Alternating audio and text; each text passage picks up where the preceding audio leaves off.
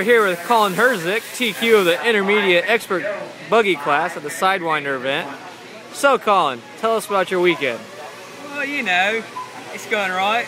I mean, can't can't ask anything more. My car, it's working perfectly. Did a few little radio tray modifications. Tried a few different tires, different compounds. It's going really nice. So I heard you TQ'd all three rounds this weekend. How do you feel about that? Pretty confident going to the main? Yeah, I feel really great right now. I mean, the tracks, it's really hard. So it's going to be difficult. Just got to keep a, a, clean head and just do lap by lap, you know? I mean, it's not going to be easy. Best of luck.